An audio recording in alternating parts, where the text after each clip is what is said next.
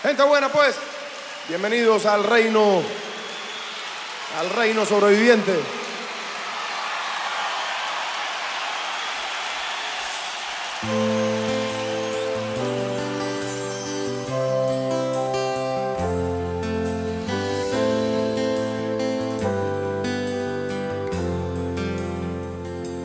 Hola, ¿qué tal amigos de Cero Express? Estamos hoy aquí en la ciudad de Bogotá con el dúo de la agrupación cubana Buena Fe, Israel.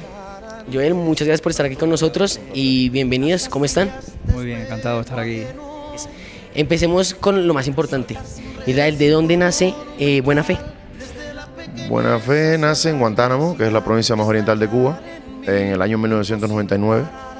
Eh, comenzamos como justamente lo que tú ves, un dúo de, de trovadores con una guitarra, dos voces y un paquete de canciones.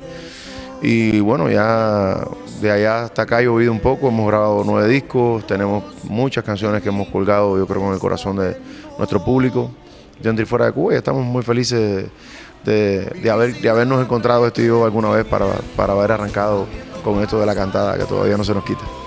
Ok, ustedes ya en 19 años, dándole muy duro a la música, generando nuevos productos, metiendo diferentes tipos de géneros a, a la trova.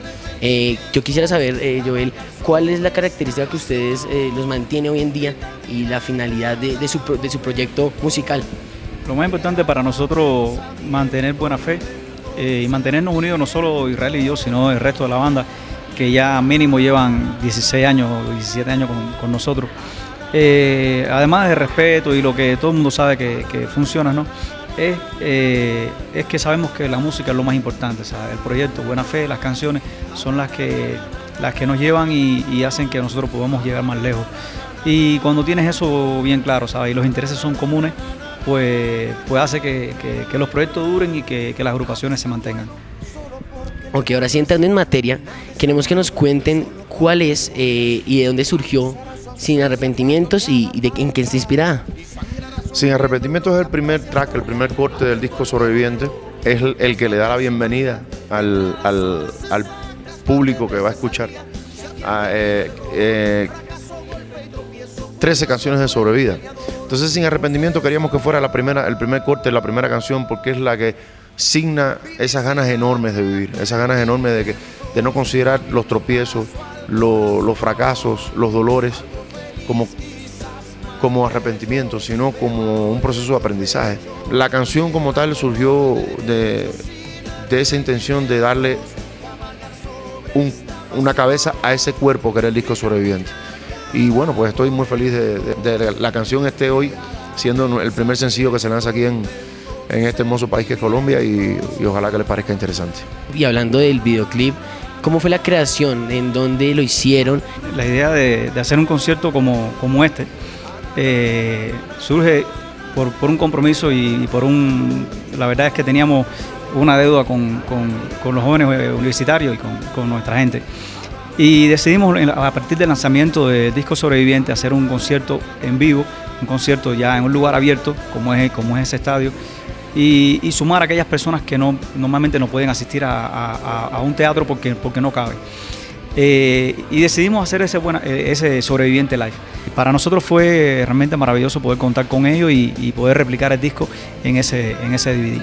Y también queremos eh, que nos cuenten un poco qué hay más en Sobreviviente, en este gran álbum que ustedes quieren interpretar y mandar mensaje y convocar muchos géneros con la trova. Queremos que nos cuenten un poco sobre qué más nos podemos encontrar. Bueno, sobreviviente, pues una mezcolanza, eh, experimento de muchos ritmos, de muchas eh, maneras de, de decir. Y qué es lo que hacemos, no solamente en sobreviviente, en la mayoría de nuestros discos, pues intentamos que, que la canción no esté estrictamente enmarcada en un género, en un rítmico, en un ritmo, sino que, que a veces nos nace una canción con palmada y, así sale una canción como Catalejo, o en el caso de, de, que una canción puede ser como si nos dan un filo a dos guitarras y voces. Eh, pues eso es lo que se van a encontrar en solo eh, ¿sabes? nuestra música. Se van a encontrar experimentos de sonoridades, de música, eh, voces y canciones que, que tienen algo que decir. Bueno, para finalizar, queremos saber eh, un mensaje a todos nuestros televidentes de Cero Express para que estén contagiados de esta música de buena fe y que puedan seguirlos y cuando nos visiten otra vez aquí en Colombia en un concierto todos podamos visitarlos y estar con ustedes. Bueno, pues un abrazo de buena fe. Eh, le recomendamos que cuando esté muy afligido, tenga algo que reflexionar, pues si se dirige a alguno de nuestros discos, puede ser que encuentre una canción que pueda servirle para reflexionar. ensinar.